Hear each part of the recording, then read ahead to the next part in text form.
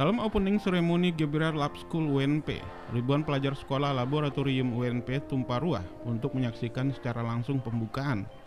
Berbagai jenis lomba yang dipusatkan di lapangan basket sekolah pembangunan laboratorium UNP, serta berbagai pameran kerajinan siswa ikut mewarnai gebiar tersebut.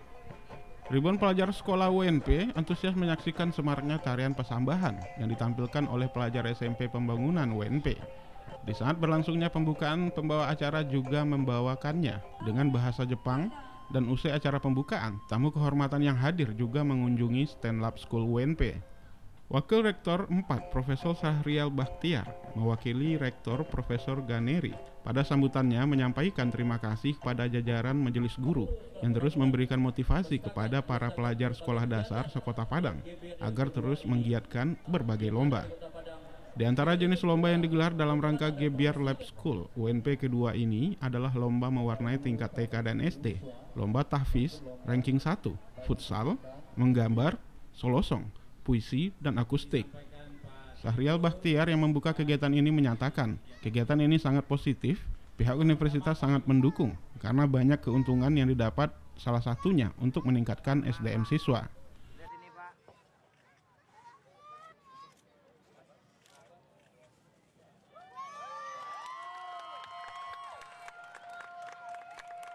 Ya, kita tahu bahwa perkembangan manusia itu ya total, total menyeluruh dalam semua aspek, bukan hanya kognitif, ya, juga afektif, emosional. Dengan demikian dijabarkan dalam berbagai aktivitas. Jadi masa anak-anak ini, mulai apalagi dari TK sampai ini mereka harus belajar semua untuk perkembangan keseluruhannya. Lebih-lebih seni, supaya mereka ada rasa, ya, gerak, mereka ada estetik. Dan dukungan penuh kepada kepala-kepala sekolah dan jajarannya, kepada siswa untuk cabang-cabang uh, yang bisa menunjang uh, kemampuan akademik, kesegaran jasmani agar mereka bisa belajar lebih uh, nyaman. Sementara itu, Direktur Sekolah Pembangunan Laboratorium UNP, Nur Hasan Shah, menyatakan Gebiar Lab School UNP digelar tiap tahun. Tahun-tahun sebelumnya, kegiatan ini digelar per sekolah.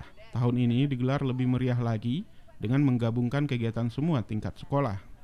Sementara itu menurut Wakil Kepala Sekolah SMA Pembangunan Padang, Yofrizal, bahwa untuk tahun ini SMA Pembangunan UNP menargetkan 80% siswa diterima di perguruan tinggi negeri. Itu target tahun 2018 ini kita minimal kita harus bisa melanjutkan siswa perguruan tinggi minimal 80%.